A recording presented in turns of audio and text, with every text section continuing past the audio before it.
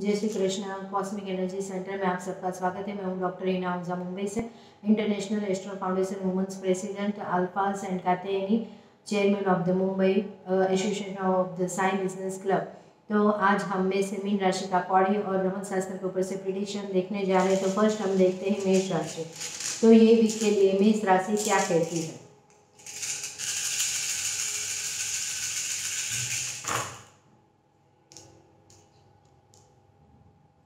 ग्यारहवा भाव आ रहे हैं, मेष राशियों के लिए। तो ये वीक मेष राशियों के लिए लक्ष्मी प्राप्ति के योग बन रहे हैं, चाहे बड़े भाई द्वारा हो, मित्र द्वारा हो, बहू द्वारा हो, या दामाद द्वारा हो तो कुछ ना कुछ नया होने जा रहा है। शेयर मार्केट द्वारा भी प्रॉफिट हो सकता है तो ये वीक के लिए बहुत ही अच्छा है। आपको कहीं पे सक्सेसफुल नहीं मिल रही, कुछ प्रॉब्लम आ रही तो आपको क्या करना है कि फ़र्स्ट आप तो पहले तो सूर्य देव को अर्घ चढ़ाना है, गायत्री मंत्र जाप के साथ।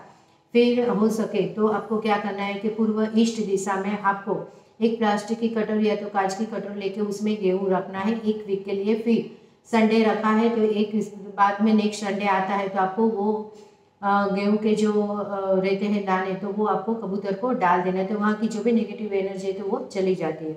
अभी आ रही है वृषभ मेष राशियों के लिए। और रात को हो सके तो नॉर्थ वेस्ट में चंद्रमा का रात का दर्शन करना है, और नॉर्थ वेस्ट में आपको एक तांबे के लोटे में पानी भर के रख देना है। अभी आ रही है वृषभ राशि तो वृषभ राशि ये वीक के लिए क्या कहती है?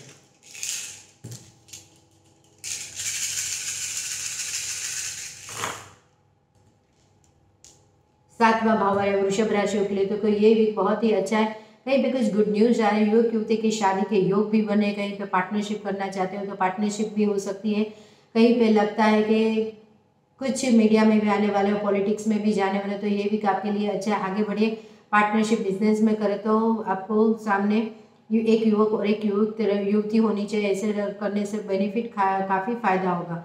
हो सके तो लकी नंबर सात रहेगा और हो सके तो आपको क्या करना है सक्सेसफुल नहीं है तो प्रॉब्लम कुछ हो रही है। तो आपको जो भी भगवान को मानते हैं, वहाँ पे जाके आपको ध्वजा की मन्नत ध्वजा चढ़ानी और मन्नत ले लेनी है तो आपका काम संपूर्ण हो जाएगा। लकी नंबर रहेगा सात नंबर। अभी आ रही है मिथुन राशि। तो मिथुन राशि ये वीक के लिए क्या कहती है?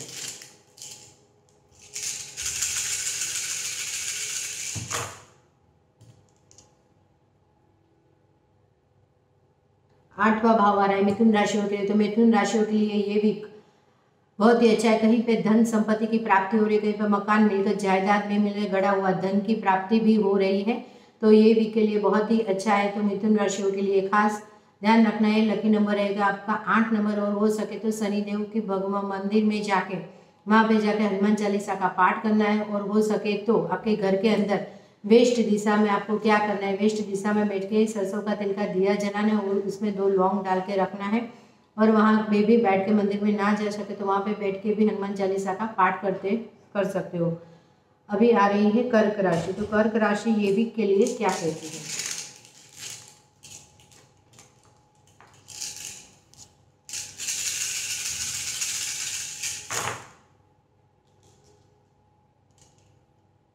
दसवा भाव आ रहा है कर्क राशि के लिए तो कहीं पे मातों का, माता का स्थान भी दिखा रहा है बिज़नेस का स्थान भी दिखा रहा है तो कहीं पे कुछ नया होने जा रहा है।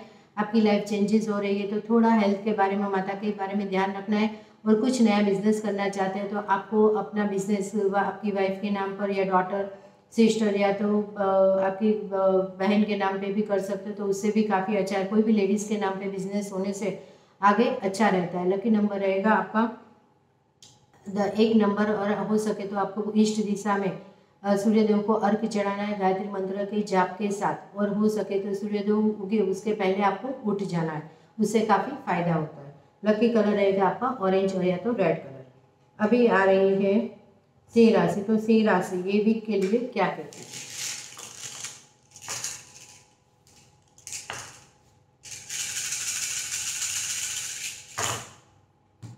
तीन नंबर आ रहा है सिंह राशियों के लिए तो तीन नंबर, छोटी सी जर्नी दिखा रहे कहीं पे घूमना फिरना हो सकता है, पड़ोसियों के साथ भी जा सकते हो, छोटे भाई बहन के साथ भी घूमना फिरना हो सकता है तो ये भी के लिए इंजॉय कीजिए। लकी नंबर रहेगा आपका तीन नंबर और लकी कलर रहेगा। येलो कलर हो सके तो आपकी घर की जो नॉर्थ ईस्ट दिशा है, उसको शुद्ध करनी है। वहाँ पे थोड़ा भी नेगेटिव शाइन आ रहा है तो वहाँ पे आपको क्या करना है? हो सके तो वहाँ पे आपको एक छोटी प्लास्टिक की कटोरी या तो कांच की कटोरी लेके चने की दाल रखनी है। और हो सके तो वहाँ पे मूँग की दाल भी रख सकते हो, चने की दाल नहीं है तो जो अवेलेबल है वो रख सकते हो। और वहाँ पे रात के शाम के टाइम पे आपको कपूर और एक लौंग जलानी है साथ में तो उससे काफ़ी फ़ायदा होगा। अभी आ रही है कन्या राशि तो कन्या राशि ये वीक के लिए क्या कहती है?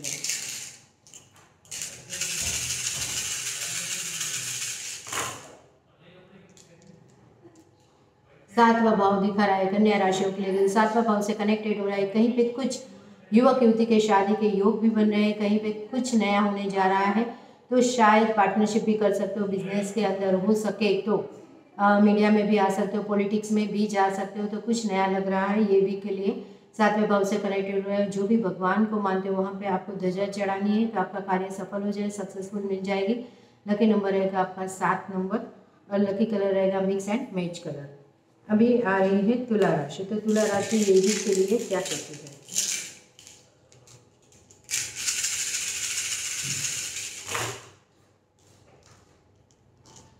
सातवा भाव अगेन आया था। भाव भी हमने देखा कि सातवा भाव again connect to connect return to return आ रहा है। तो ये भी के लिए शादियों के योग भी ज़्यादा बन रहे हैं। तो युवक युवती के शादी के योग बन रहे हैं ज़्यादातर। हो सके तो अच्छा रहेगा एक दूसरे के लिए। और कहीं पे कुछ नया दिखाने जा रहा है तो पार्टनरशिप भी बिज़नेस में करना चाहते हो तो पार्टनरशिप भी कर सकते हो। आगे बढ़िए और कहीं पे कुछ पॉलिटिक्स में आना चाहते हो पॉलिटिक्स भी आ सकते हो मीडिया में भी जा सकते हो। ये भी के लिए बहुत ही अच्छा है, ये भी आपके लिए लकी नंबर रहेगा आपका सात नंबर हो सके तो आपको क्या करना है? नॉर्थ ईस्ट दिशा में आपको एक कपूर और एक लौंग मिट्टी के दिया में जलाना है ताकि काफ़ी परेशानी आपकी दूर हो जाएगी। और आपको फल प्राप्ति हो जाएगी। और काफ़ी ऐसा लगता है कि कहीं पे कुछ नहीं हो रहा है। तो शाम के टाइम पे आपको घर की जो मेन दहलीज रहती है वहाँ पे भी कपूर एक, एक लौंग जला सकते हो। अभी आ रही है वृश्चिक राशि। तो वृश्चिक राशि ये भी के लिए क्या कहती है?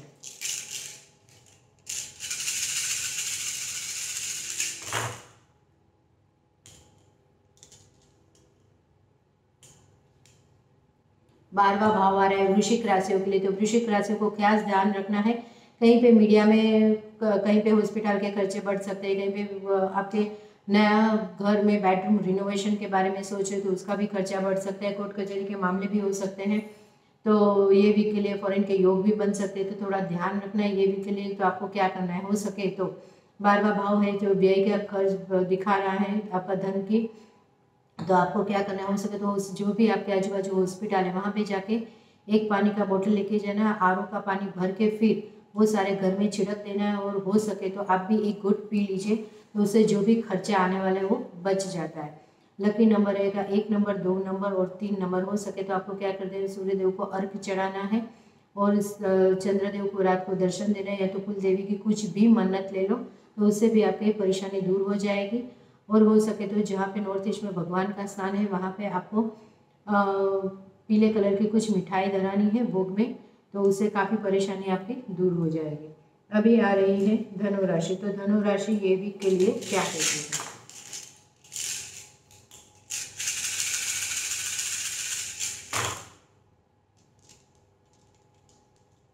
आठवां भाव आ रहा है धनु राशि होते तो कहीं पे धन प्राप्ति के योग बन रहे, मकान डटा हुआ धन की प्राप्ति हो रही है, मकान मिलकत मिल रही है कुछ ना कुछ नया होने जा रहा है लाइफ चेंज हो रही है आठवा भाव है तो दुखद का समाचार भी आ सकते हैं, किसी के लिए मृत्यु का स्थान भी है। और कहीं पे घुटनों पे, पैरों पे या तो मोच आ सकती है, पैरों में कुछ लग सकता है, कमर में दर्द हो सकता है तो आपको क्या करना है, सरसों के तेल की मालिश करनी है तो काफ़ी परेशानी आपकी दूर हो जाएगी। लकी नंबर रहेगा आपका आठ नंबर और लकी कलर रहेगा आपका पर्पल कलर ब्लू कलर तो हो सके तो ब्लैक कलर और हो सके तो आपको क्या करना है, आपके घर की जो वेस्ट दिशा है, वहाँ पे सरसों का तेल का दिया जलाना है, तल का तेल का भी दिया जला सकते हो, उसमें दो लौंग डालना है और फिर उससे काफ़ी परेशानी आपकी दूर हो जाएगी। लकी नंबर रहेगा आपका आठ नंबर अभी आ रही है मकर राशि तो मकर राशि ये वीक के लिए क्या कहती है?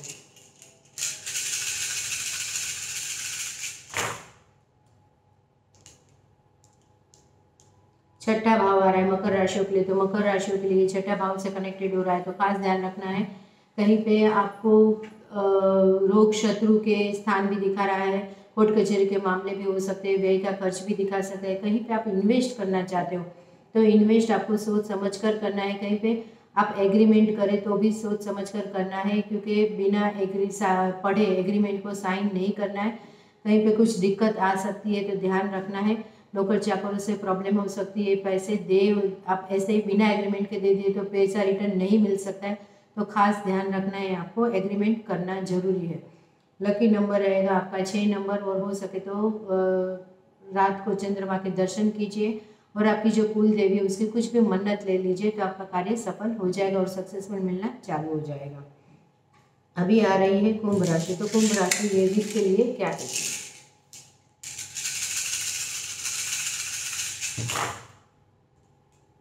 छठा भाव आ रहा है कुंभ राशियों के लिए। तो कुंभ राशियों के लिए कहीं पे कुछ छठा भाव से अगेन छठा भाव आया है तो थोड़ा ध्यान रखना है। रोग, शत्रु और नौकर चाकरों से संबंधित रिलेटेड कोई प्रॉब्लम आ सकती है। कहीं पे खर्चा बढ़ सकता है तो कहीं पे कुछ हो सकता है तो थोड़ा ध्यान रखना है। आप पैसा इन्वेस्ट करना चाहते हो तो बिना एग्रीमेंट के इन्वेस्टमेंट ना करें।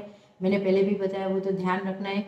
हॉस्पिटल के खर्चे बढ़ सकते हैं तो आपको क्या करना है? हो सके तो कोर्ट कचहरी के वहाँ पे भी आर का एक्वा कार्ड रहता है तो एक छोटी सी बोतल में भर के रख देना है, पानी भर के और पूरे घर में छिड़क दीजिए और जिसका घर में कोर्ट केस चल रहा है, उसको एक घुट डेली पानी पिलाइए तो काफ़ी परेशानी दूर हो जाएगी।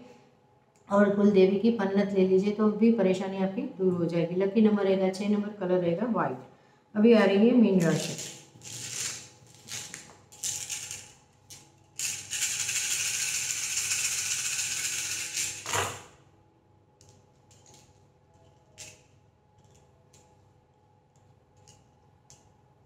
दसवा भाव आ रहा है मीन राशियों के लिए तो मीन राशियों को खास ध्यान रखना है।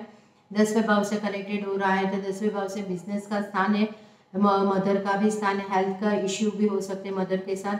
और कहीं पर कुछ नया बिज़नेस करना चाहते हो तो लेडीज़ के नाम के बिज़नेस कीजिए तो वो बहुत ही अच्छा चलेगा बेनिफिट भी मिलेगा और काफ़ी परेशानी आपकी दूर हो जाएगी। तो लकी नंबर रहेगा आपका एक नंबर और लकी कलर रहेगा आपका रेड और ऑरेंज कलर और हो सके तो। सूर्यदेव को अर्घ चढ़ाना है तो आदित्य स्रोत का पाठ भी कर सकते हो ईस्ट दिशा में बैठ के, और वहाँ पे गाय का घी का दिया भी जला सकते हो, या तो कपूर और लौंग का दिया भी कर सकते हो, उससे भी काफ़ी परेशानी दूर हो जाती है। घर की सारी नेगेटिविटी दूर करने के लिए मीठे का नमक के पानी का पोछा लगाना है तो उससे काफ़ी परेशानी आपकी दूर हो जाएगी। लकी नंबर रहेगा आपका, एक नंबर लकी कलर रहेगा ऑरेंज और येलो कलर हो सके तो ये वीक के लिए कॉस्मिक एनर्जी की तरफ़ से आपको सबको बहुत बहुत ही शुभकामनाएँ। Thank you very much